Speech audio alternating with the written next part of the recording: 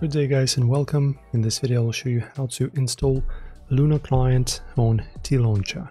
Okay, so we will provide you a link for the uh, client itself uh, in a form of an archive. I already have it, so let us begin.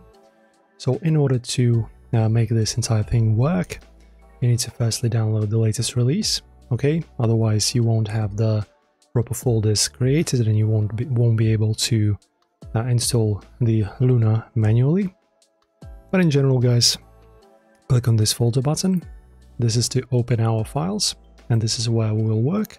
Uh, after that, you go to versions, and now you can, uh, in here, uh, drag and drop your uh, Lunar launcher. Uh, in our case, it's going to be in the archive. All right, and uh, drop this LC folder to here. You can close that now.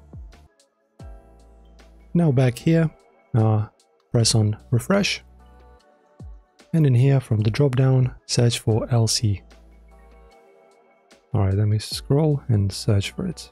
Okay, release LC, choose this, and now press on enter the game, and this will launch uh, our game, our Minecraft, through the Lunar launcher. Okay, and as you can see, after it's downloaded, our Lunar client has uh, successfully launched, and now you can play. So enjoy guys, if this helps, like and subscribe, and I'll see you in the next one.